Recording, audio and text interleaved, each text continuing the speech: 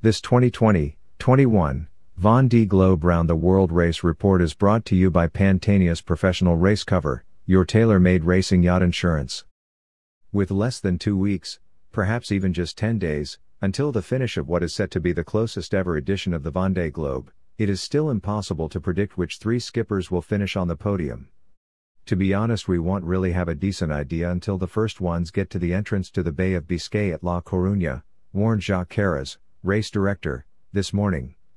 Race veteran Jean Le Cam, yes we Cam, 61, in ninth place on his fifth Vendée Globe observed sagely, I don't make forecasts.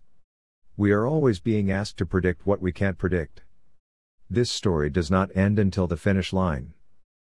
Emerging from the doldrums first Charlie Dalin, Apivia, and Louis Burton, Bureau Vallée 2, are taking slightly different options. Dalin may be computed to be 48 nautical miles closer to the finish than rival Burton, but the skipper from St. Malo is sailing over 3 knots faster, and is actually more north than Dalin but is making a lower, faster angle and so diverging to the west. Their lateral west-east separation is already 110 miles. The speed race 800 miles northwestwards is towards the point where they each think it fastest and easiest to cross a high pressure ridge of light winds to connect with the North Atlantic's winter low pressure arriving from Newfoundland. The leading two contenders have entirely different programs. Dalin is backed by insurance brand Apivia, part of the Massif Group which already won the Vendée Globe in their own colors with Francois Gabart in 2012-13. Gabart's Mare Concept Company manages the project and as well as Gabart in his corner, Dalin has the counsel of Volvo Ocean Race winning navigator Pascal Baudry and a pool of top engineers and designers. He was hand-picked as a Vendée Globe successor to Gabart, for his record as two times French offshore champion with four consecutive podiums on the Figaro circuit to his credit. But for all that the meticulous, super consistent Dalin, has been fated in one of France's best funded, top ocean racing stables, he has sailed more than his share hard miles and as young naval architecture student in England raced in the IRC fleet, with the Bear of Britain training group. He became close friends with English ex-mini class racer and adventurer Nick Bubb, who connected with race leader Dalin, on today's Vendée Globe live show. Germany's Boris Herrmann, Sea Explorer, Yacht Club de Monaco, dropped some valuable miles, snared in the doldrums for hours last night. He retains a good position further north than his rivals, and should now be able to outgun the other boats around him, if indeed is playing with a boat at 100% as he contends.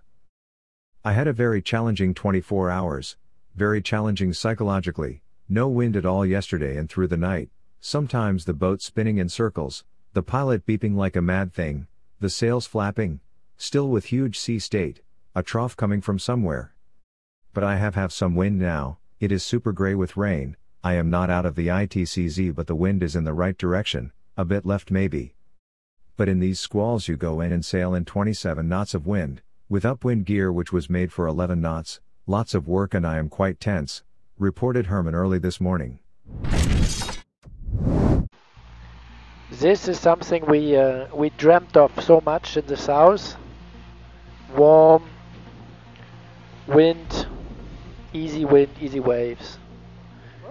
The last 36 hours were hard work. I think it will be a bit easier now the next two days. A week, we almost sail a week like this. The wind always comes from the right side. From the, we, we call it starboard tack. And um, gradual change, very gradual change. So I expect in the next 12 hours the wind to shift 10, 15 degrees excited about the position here. Well together, and uh, able to, to get even closer to the leading pack. So it's very close at the front of the Vendée Globe fleet at the moment. Um, the next feature that the fleet will be looking for is at um, the doldrums, which is currently about one uh, one degree north, um, kind of the entrance to the doldrum. And at the moment, the doldrums are looking um, slightly complicated. Um, they're not going to be as easy as, as usual, so potentially there could be some slow ups in the fleet here. I'm good, thank you. Uh, we are in the middle of the doldrums still. Um, only 10 knots of wind at the moment. We make some progress. That's good, and I hope that at uh, some stage of this day today we get out of out of this mess. It looks really messy on the start. So so I do the routing to the finish, and um, again this morning the route arrived in uh, just 10 days, um, even 9 days, uh, 23 hours. The black pot or doldrums. I totally underestimated them this time. I thought we will have a little afternoon lull and then go on. Not at all. The whole night was a hassle and the whole day and I'm afraid to even think about the next night. the, the strange feeling in these currents is is there ever going to be any wind again? It's kind of a non-logical thought that comes to my mind. Uh, Dear wind god, send me some wind Okay, what's the bet? When is this over? Six hours, 12 hours, 24 hours?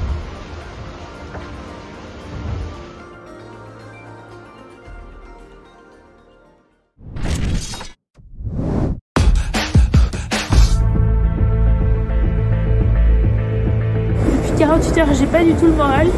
J'ai arraché mon rail d'écoute de, de, grand voile sur un tronçon. En voulant rouler mon J2, bah, je crois que je l'ai, enfin c'est sûr, j'ai un petit peu déchiré. J'ai eu un gros coup de mou euh, hier où j'ai pleuré un peu sans trop de raison. Je veux surtout pas que les gens croient que c'est tout le temps la fête. Les petits coups de mou euh, des skippers euh, sur un tour du monde, bien sûr que ça arrive. Après, le passage du Horn, c'est sûr qu'on lui avait tellement dit que ce serait la libération. Et malheureusement, après ce passage du Horn, elle a encore au prix du vent. Donc, euh, une mer pas facile. Donc euh, je pense que la libération, euh, elle l'a attendu euh, plus que ce qu'elle aurait dû. Elle a aussi eu des petits soucis avec ses deux aériens. C'est des girouettes anémomètres qui sont situés en haut du mât. Ça n'a pas été facile pour elle pendant deux trois jours. Elle nous livre ce tour du monde comme elle le vit, sans filtre.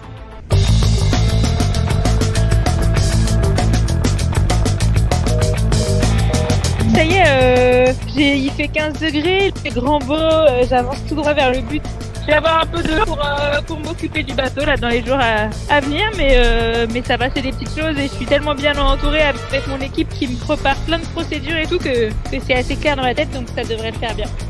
En amont, on a envisagé tous les problèmes qu'on pouvait rencontrer à bord, avec chaque personne compétente dans son domaine. Euh, chacun a mis le matériel qui jugeait nécessaire à bord pour qu'elle puisse avoir ce dont elle a besoin. Quand elle effectue ses réparations, bah, on est en stand-by et on est prêt à, à l'aider, à répondre à ses questions, s'il y a des incompréhensions ou si elle rencontre des surprises. Quand tout marche bien, elle nous envoie un petit euh, c'est super les gars, merci. Et sachant que tant que ça marche pas, on continue à essayer de trouver des solutions. Clarisse Kremer, qui donc est en direct avec nous. Tony Estanguet a quelques questions à vous poser. Oui, bonjour Clarisse. Ben, D'abord, moi je voudrais commencer par te, te féliciter, te dire qu'on est hyper admiratif de, de, ce que tu fais. Bravo. Salut Tony, je suis ravie de, de t'entendre, c'est marrant. Euh... Clarisse a eu la chance d'avoir Tony Estanguet, donc c'est vraiment un moment d'échange euh, vrai entre sportifs de haut niveau. Euh, il a eu su trouver les bons mots pour pour aussi bien lui faire parler de ses coups de mou, mais aussi des moments d'extase qu'elle peut vivre en mer, parce qu'il y en a. J'ai vraiment trouvé cet échange super sympa. Et en plus, avec cette volonté de Paris 2024, euh, franchement, euh, moi, je me suis régalé de les voir échanger. Et j'espère que pour elle, c'était une bonne récréation. J'attendais des conditions clémentes pour euh, installer mon petit matériel de super, préparé par l'équipe à Lorient. Pour la pétale, ça va me permettre de monter au mât pour m'occuper de mon J2. Je fais comme si j'étais pas fatiguée, je m'occupe de mon bateau, je, je fais tout comme et puis je pense que, je sais pas, ça va m'aider à, à repartir dans un bon rythme et dans un bon état d'esprit. Euh, elle a remis en place ses aériens, euh, le bateau il va bien, là il commence à faire beau, le bateau glisse, elle est sortie des, des, conditions difficiles, puis elle s'est reposée, elle a commencé à remanger bien, je pense qu'elle se construit son bien-être au quotidien et qu'elle apprécie d'être là où elle est. La onzième semaine de course pour Clarisse, elle va s'annoncer un peu plus euh, clémente au niveau euh, niveau des conditions météo, alors euh, c'est sûr qu'on pourrait se dire que ça va être les vacances, mais c'est limite euh, plus difficile pour les marins. Il va falloir commencer à penser à l'équateur, avec poteau noir et comment est-ce qu'on passe euh, de cette zone-là.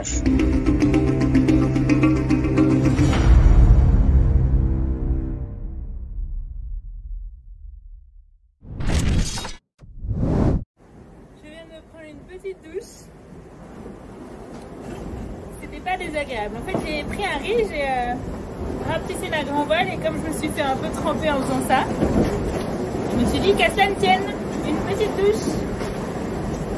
Ça c'est bien quand il fait chaud parce que dans les mers du sud, euh, tu te fais tremper, bah, c'est juste la sanction. T'as plus qu'à aller te ranger à l'intérieur en espérant que, que ça sèche un jour.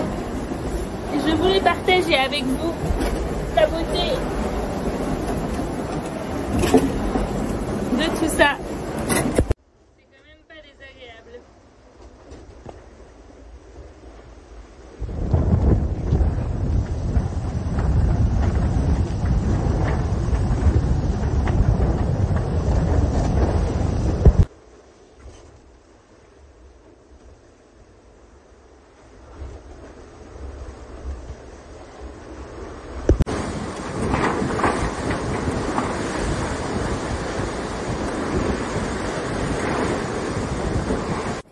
J'ai un petit plaisir en ce moment.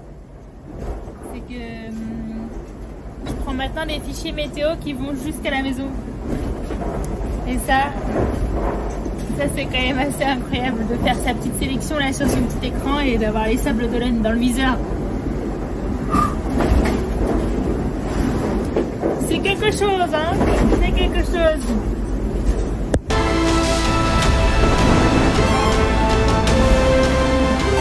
You're taking your racing to the next level, make sure your insurance is up to the challenge.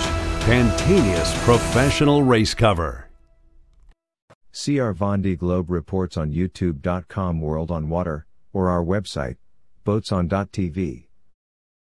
This 2020 21 Vendée Globe Round the World Race Report was brought to you by Pantaenius Professional Race Cover, your tailor made racing yacht insurance.